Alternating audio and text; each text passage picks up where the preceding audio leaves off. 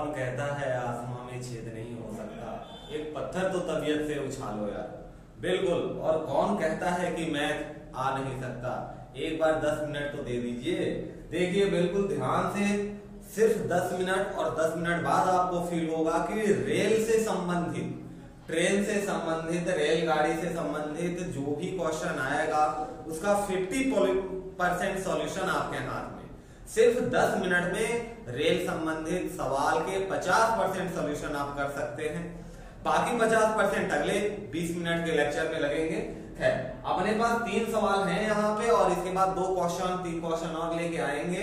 और यहाँ पे हर क्वेश्चन में हर एक एक कॉन्सेप्ट छह से सात क्वेश्चन है और छह से सात कॉन्सेप्ट रेल संबंधित सवाल काम खत्म फिनिश ठीक है? तो सारे सवाल धुआँ धुआँ हो जाएँगे। बस आपको ध्यान से देखना है कि सॉल्यूशन का तरीका क्या है। और बे, बेसिक एक बात याद रखनी है कि किलोमीटर पर आवर को मीटर पर सेकेंड में बदलने के लिए 5 अपॉन एटीन से हम मल्टीप्लाई करते हैं। और ये 5 अपॉन एटीन कहाँ से आता है ये भी हम बात कर चुके हैं। और समय को ध्यान में रखते हुए डायरेक्ट शुरू करते हैं क्वेश्चन और भाई सोल्यूशन में एक चीज़ ध्यान रखेंगे कि यूनिट सेम होनी चाहिए। मात्रक सेम होना चाहिए, चाहे चाल हो, चाहे समय हो, चाहे दूरी हो।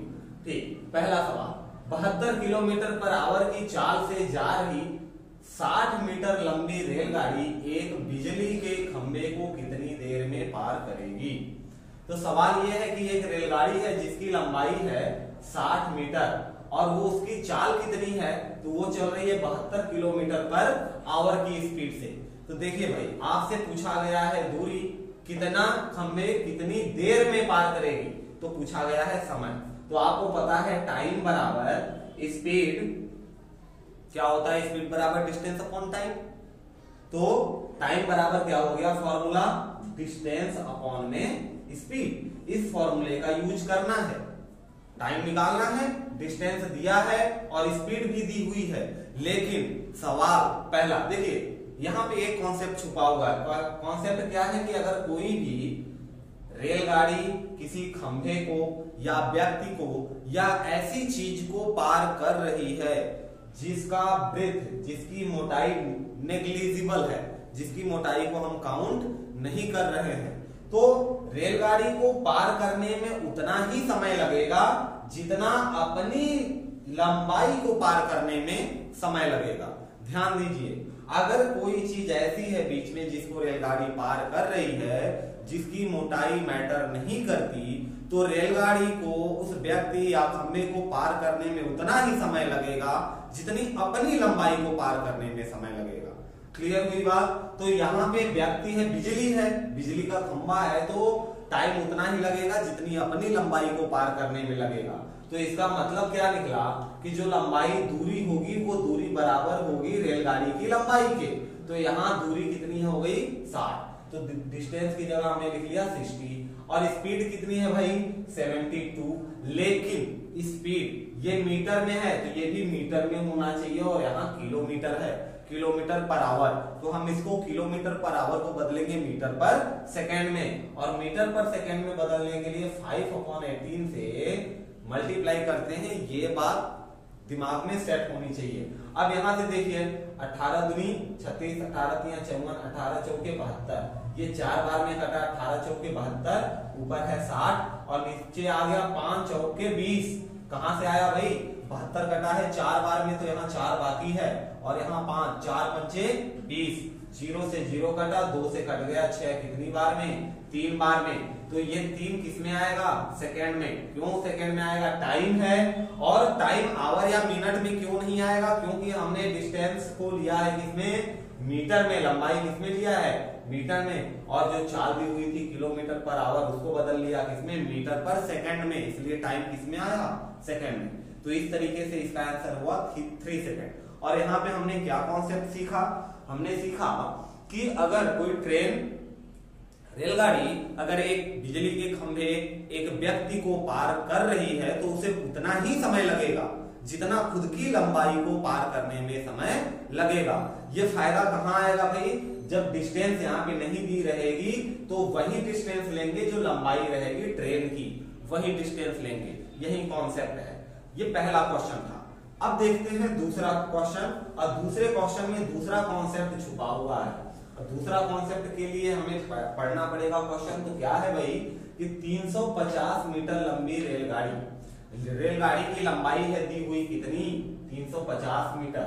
और इसकी चाल है चौवन किलोमीटर पर आवर की चाल से 250 मीटर लंबी गुफा देखिए इसके पहले क्वेश्चन में क्या था कि बिजली के खंभे को पार कर रही थी, जिसकी मोटाई को निग्लेक्ट कर दिया जाता है।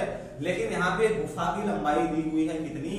250 मीटर। तो सोचने वाला अच्छा और आगे क्या, कितनी देर में पार करेगी? यहाँ पे भी टी निकालना है टाइम निकालना है, और टाइम बराबर फॉर्मूला होता है डिस्टेंस ऑन में स्पीड और स्पीड आपको पता है कितनी है स्पीड चौवन किलोमीटर पर आवर तो 54 ये स्पीड है इसकी। कितनी? 54 किलोमीटर पर आवर और इसे हम बदलेंगे मीटर में क्योंकि बाकी जो डिस्टेंस दी हुई है, जो लेंथ है वो मीटर में है। देखिए, मीटर में लंबाई, मीटर में लंबाई है।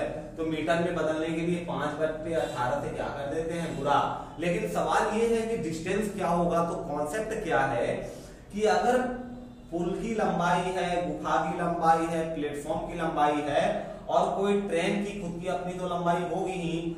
जब इसको ये पार करेगी, ये ट्रेन इसको पार करेगी तो इसे अपनी लंबाई और प्लस में इस प्लेटफॉर्म की भी लंबाई को पार करना पड़ेगा। ध्यान दीजिए, इन दोनों की लंबाई को पार करना पड़ेगा। जितना इतनी लेंथ को पार करने में समय लगेगा, उतना ही समय लगेगा ट्रेन को इस प्लेटफॉर्म को पार करने में। यानी यहाँ पे जो डिस्टेंस होगा जो डिस्टेंस होगा, उनको क्या करेंगे हम? प्लस कर देंगे और कुछ नहीं करना है। बाकी सारी बातें फॉरगेट कर दीजिए। बस एक बात मान, मन में रखिए दिमाग में कि अगर ट्रेन की लंबाई के साथ साथ पुल की लंबाई या गुफा की लंबाई या प्लेटफॉर्म की लंबाई आ गई तो उन दोनों को हम क्या करेंगे? प्लस कर देंगे और वही डिस्टेंस मिलेगा हमें। तो 350 प्लस 250 350 अब प्लस में हो गया कितना? 250 तो भाई इसको काटना पीटना शुरू करिए। अठारह तिया चौवन। तीन से कट गया। ऊपर कितना आ गया भाई? प्लस कर देंगे। तो ज़ीरो ज़ीरो छ छह सौ आया। और नीचे पाँच त्याई पंद्रह। पंद्रह कैसे? पाँच तो यहाँ ऊपर से बचा। अठारह से चौवन कटा तीन बार में। तो पाँच त्याई पंद्रह। अब पंद्रह चौका साठ होता है भाई तो चार बार में कटा और ज़ीरो। यानी ये अच्छा टाइम निकाल रहे हैं, कितना या फोर्टी तो इसकी यूनिट क्या होगी? सेकेंड में। कितना? फोर्टी सेकेंड बहुत अच्छे। अगर स्पीड ट्रेन की चौवन किलोमीटर की गति है और उसकी लंबाई ट्रेन की 250 मीटर है तो 300 350 मीटर है तो 250 मीटर लंबी गुफा को पार करने में कितना सेकंड समय लेगी भाई? 40 सेकंड बहुत अच्छे। दो क्वेश्चन दो कॉन्सेप्ट और यहाँ पे हमारा आता है तीसरा क्वेश्चन और तीसरे क्वेश्चन में तीसरा कॉन्सेप्ट छुपा हुआ है। और वो क्या है? अगर आप समय दे लेते हैं, सिर्फ़ 10 मिनट ईमानदारी से। ईमानदारी बड़ी चीज़ है, ईमानदारी होनी चाहिए। तो आपको दुनिया की सबसे महँगी चीज़ मिलेगी। सुकून। सुकून। इस बात से कि आपको ऐसे क्वेश्चन आते हैं। दुनिया की सबसे महँगी चीज़ क्या है? सुकून है। तो आइए सुकून ढूंढते हैं। और वो भी ज्ञान के साथ। एक रेलगाड़ी 120 मीटर लंबे प्लेटफॉर्म, देखिए, फिर से लंबाई आ गई, रेलगाड़ी की लंबाई नहीं है, लंबे प्लेटफॉर्म, ये प्लेटफॉर्म की लंबाई है, को 10 सेकेंड में पार कर लेती है, प्लेटफॉर्म की लंबाई दी है और इसको कितने देर में पार कर लेती है? 10 सेकेंड में, तथा एक खंभे को पार करती है, चार सेकेंड में, खंभे की लंबाई नहीं लिया जाता, चौड़ाई जो ब्रिथ है खंभे की, वो नहीं ली जाती निग्लेक्ट कर दी जाती है। उसको पार करने में कितनी ले रही है? चार सेकेंड। तो रेलगाड़ी की लंबाई बतानी है। यहाँ पे हमने देखा कि रेलगाड़ी तो दिया है, लेकिन उसकी लंबाई नहीं। इसके पहले क्वेश्चन में लंबाई था। बहुत अच्छे। दूसरा क्वेश्चन समझ में आया तो तीसरा तो चुटकी में बनेगा। लंबाई निकालनी है रेलगाड़ी की, साथ ही साथ चाल निकालना है किलोमीटर पर। आवर में। तो भाई, यहाँ पे दिया क्या है? पहली चीज़ मान लिया कि रेलगाड़ी की लंबाई लंबाई रेलगाड़ी की कितनी है? एक्स है। X metre. रेलगाड़ी की लंबाई कितनी है? एक्स मीटर है। अब यही एक्स हमें निकालना है। अच्छा अगर एक्स मीटर लंबी रेलगाड़ी एक खंभे को चार सेकेंड में पार कर रही है तो उसकी चाल क्या होगी? चाल क्या होगी? भाई, जितनी दूरी चली, दूरी कितनी चलेगी खंबे को पार करने में? जितनी लंबी रेलगाड़ी खुद है। और रेलगाड़ी की लंबाई हमने मानी है कितनी? X metre. और टाइम कितनी ले रही है? चार सेकेंड। बहुत अच्छा। यहाँ बना इक्वेशन नंबर वन लेकिन क्यों बना?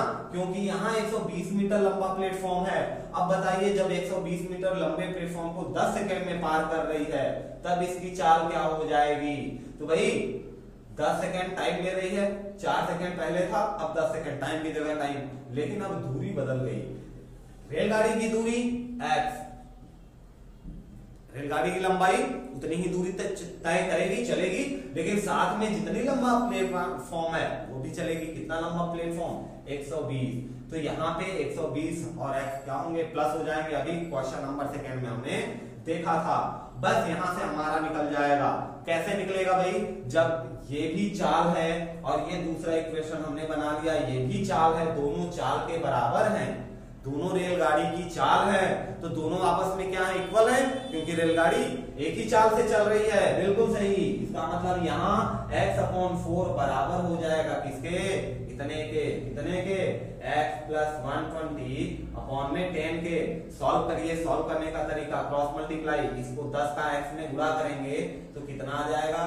टेन एक्स और जब इसका मल्टीप्लाई होगा तो ध्यान देंगे कि इसका मल्टीप्लाई दोनों के साथ होगा, एक के साथ नहीं, कितने के साथ? दोनों के साथ। तो फोर का एक्स में हो गया तो कितना आया? फोर एक्स और प्लस में बारह का चार में बारह चौका अड़तालीस ज़ीरो लग गया चार सौ अस्सी। अब एक्स की वैल्यू निकालनी है। एक्स की ही तो वैल्यू निकालनी है काम ओके है। एक्स वाला एक तरफ़, इधर भेज देंगे। पहले से है टेन एक्स फोर एक्स इधर जाएगा तो माइनस का फोर एक्स क्योंकि बीच में इक्वल लगा है और plus minus multiply divide sign change हो जाता है, जब इक्वल के इधर उधर वैल्यू आती जाती है। तो कोई साइन नहीं तो प्लस उधर गया तो माइनस बराबर किसके? 480 के। अब यहाँ से देखिए कितने एक्स बचे? 6x बराबर कितना? 480 तो x बराबर कितना आ गया? भाई 6 को डिवाइड में दे दीजिए 480 डिवाइडेड बाई 6 तो x बराबर, देखिए 8 छका अड़तालीस, आठ। और ज़ीरो बच गया, ज़ीरो अस्सी। मीटर मीटर, क्यों मीटर? क्योंकि लंबाई हमने किसमें ली थी? मीटर में। तो ट्रेन की लंबाई कितनी आ गई? 80 मीटर। लेकिन अभी हमारा आंसर अधूरा है, क्योंकि अभी हमें निकालना है क्या? चाल। क्या निकालना है भाई? चाल। तो चाल निकाल लीजिए ना, कोई भी इक्वेशन पकड़ लीजिए। जैसे हमने इक्वेशन नंबर वन ले लिया, ये भी तो चाल ही है।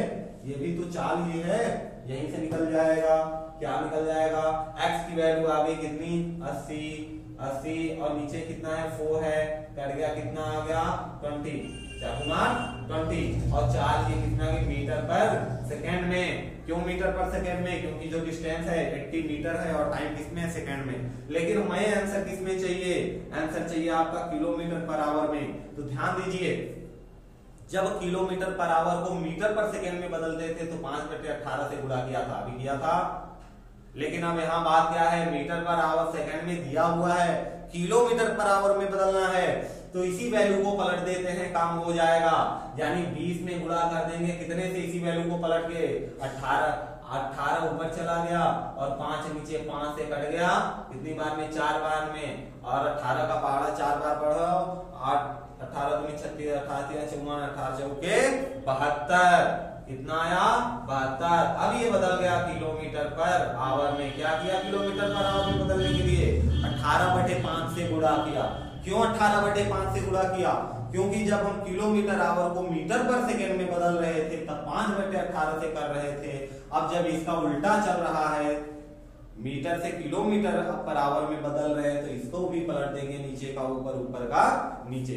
यहाँ पे होता है क्वेश्चन नंबर थ्री आपका समाप्त। और अगले वीडियो में अब हम लेके आएँगे question number four, five, six, seven, चार क्वेश्चन, चार और कॉन्सेप्ट और रेल संबंधित सारे कॉन्सेप्ट क्लियर और उसमें बात की जाएगी जब दो ट्रेन आमने सामने आ रही हूँ। दो ट्रेन विपरीत दिशा में जा रही हूँ, या एक ट्रेन जा रही है, कोई व्यक्ति उसके पीछे दौड़ रहा है। एक ट्रेन आ रही है, कोई व्यक्ति उसके सामने दौड़ रहा है किसी स्पीड से।